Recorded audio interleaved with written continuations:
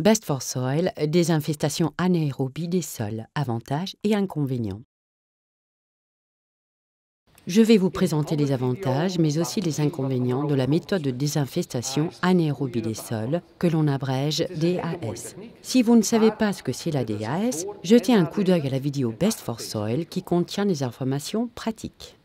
Qu'est-ce que la DAS L'abréviation DAS signifie désinfestation anaérobie des sols. Il s'agit d'une méthode qui crée des conditions anaérobies limitées dans le temps dans la couche supérieure du sol. La plupart des agents pathogènes et des nématodes ne sont pas capables de survivre à de telles conditions et périssent donc. L'ADAS consiste à appliquer une tonne de matière végétale fraîche, herbe ou engrais vert, par hectare et par centimètre de profondeur du sol. Souvent, 40 tonnes par hectare sont incorporées dans 40 cm de sol. Le sol doit être humide ou mouillé. La surface est recouverte d'une bâche imperméable. Selon les organismes cibles, la bâche devrait être maintenue pendant au moins six semaines.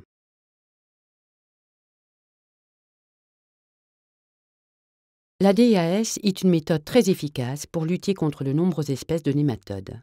Par exemple, les nématodes des racines, les nématodes akystes de la pomme de terre, les nématodes des racines noueuses, méloidogynes, chitwoodi, phalax et incognita. Et même les nématodes des tiges d'Italincus dispaci déclinent fortement.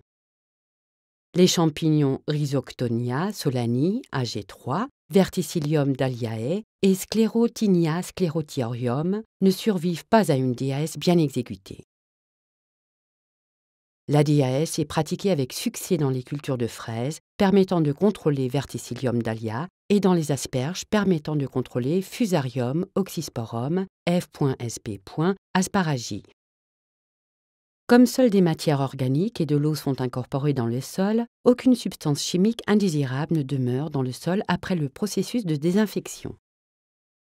Le sol n'est pas stérilisé comme il est après une désinfection à la vapeur. De nombreux organismes bénéfiques survivront à la DAS et se rétabliront en quelques jours, voire quelques heures pour certains d'entre eux après le retrait de la bâche. Certaines espèces ne sont pas touchées par la DAS, par exemple les trichodorides, aussi appelés nématodes libres, qui transmettent le tobacco rattle virus du tabac.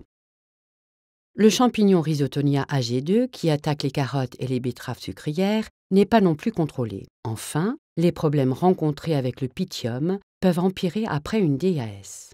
Avant de pratiquer une DAS, vous devez donc savoir quels ravageurs ou quelles maladies sont présentes sur la parcelle et vérifier si la DAS peut être efficace. La DAS n'est pas efficace lorsque la température du sol est inférieure à 15 degrés Celsius. Pour les pays du Nord, cela signifie que la méthode doit être appliquée pendant la saison estivale. Pour employer la DAS, vous devez choisir une culture principale qui est récoltée tôt, comme par exemple la laitue, les pois ou l'orge d'automne. Il est recommandé de vérifier que le film pratiquement imperméable, en anglais vif, ne soit pas endommagé. Les trous doivent être réparés dès que possible à cause du retour de l'oxygène dans le sol qui empêche une lutte efficace. La bâche imperméable ne peut être utilisée qu'une seule fois et ne peut pas être recyclée. Cela rend la méthode onéreuse. Des alternatives comme un revêtement pulvérisable ou d'autres plastiques recyclables sont à l'étude. Pour l'instant, cette méthode est rentable pour les cultures à forte valeur, ajoutées comme les asperges, les fraises ou par le traitement de nouvelles plantations sur de petites surfaces. De plus, les organismes utiles du sol qui ont besoin d'un apport régulier en oxygène, comme les vers de terre, ne survivront pas à la méthode DAS.